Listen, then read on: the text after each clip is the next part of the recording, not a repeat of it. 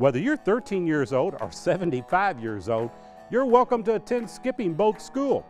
At this school, you build your very own kayak.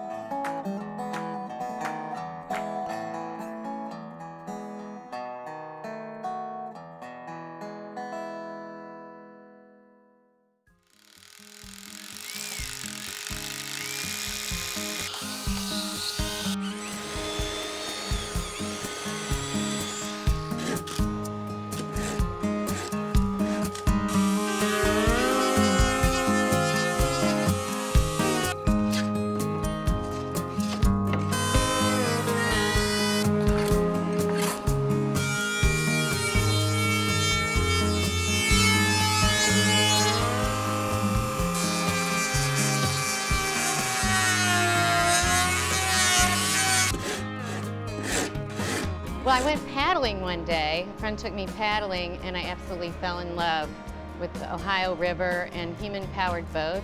And um, I decided that being a sculptor, that I wanted to make a boat. And I ran into my business partner, Dennis Pigeon, and he has been building boats for about 20 years.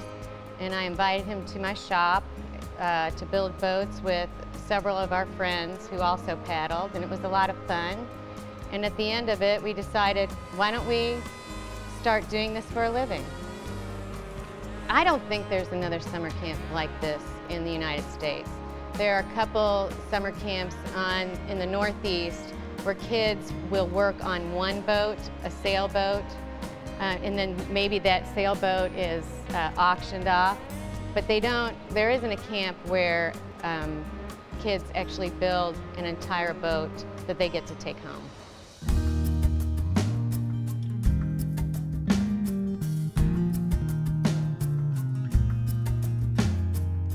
Teach 13 through 17 year olds to build their own kayak. And they kind of leave feeling like the world's been demystified to a certain extent. They know how things are made or they have some idea about what kinds of thoughts go into the making of everything they see.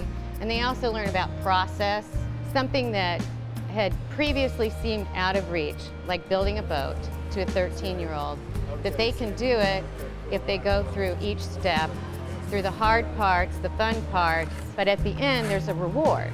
It's a really powerful experience for them. I mean, they built it, and there aren't a lot of people who have, can say they built their own boat, and they, it somehow makes them feel special and competent and good at something.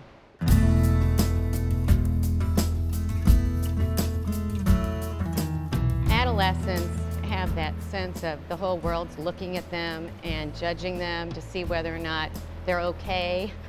So when they put themselves in a situation where they're going to have to maybe use a drill for the first time, their fear is they're going to do it wrong.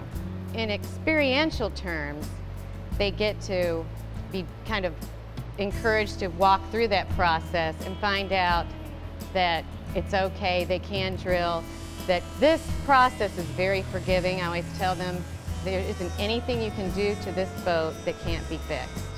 And I said, and if, if something goes wrong, you learn how to fix it. So you've learned something extra. The moment they walk through the door, most of them have never built a boat. So I think that's pretty brave in and of itself because they're taking a risk and trying something new. And when they come in here, there are two uh, boards on sawhorses that are about 16 feet long, and they're just plain planks of wood. So that's what they start with, and we say, here's your boat. It takes about 60 hours total to build a kayak like this, and uh, um, there are no nails in the boats. They're, it's all pegged and lashed. The adults that come through here are varied. We have some women, school teachers, they have the summers off and so they take that time and do something like build a boat. Um, one school teacher took her boat back to school to show all the kids and talked about her experience. That's a cool teacher. There's something about paddling your own creation, you know, it, it's like uh, you could go to McDonald's or, you know, White Castle or something and get something to eat Or you could cook yourself a gourmet meal, yourself and your family or your friends. And that's a lot more special. Well, there's something a lot more special uh, about building your own boat, particularly a boat like this, which to a kayaker is the ultimate in tradition. This is a Greenland kayak. And this is what the Inuits or the Eskimos built and paddled of West Greenland. So uh, it's not only building your own kayak, but it's being part of the tradition. Sometimes we get people in here who are kind of in a spot in their life where they're searching for what the next thing is that they might want to be doing. And so boat building is kind of an appropriate metaphor for the voyage that they are wanting to take into maybe a different job or a different place. We also get a lot of graduates, high school graduates, and their parents will buy them a boat building class so that as a graduation present. And I think that's also appropriate because they are about to go off on a new journey, an adventure. I can barely put together Lego blocks and yet I'm still coming up with something that at least is recognizable as a kayak. No, it's actually very well.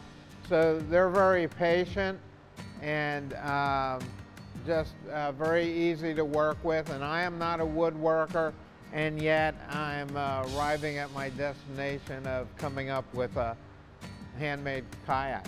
Every boat is unique like people, and I just think all the boats are beautiful. Anybody that can listen to directions could do this and would enjoy doing it.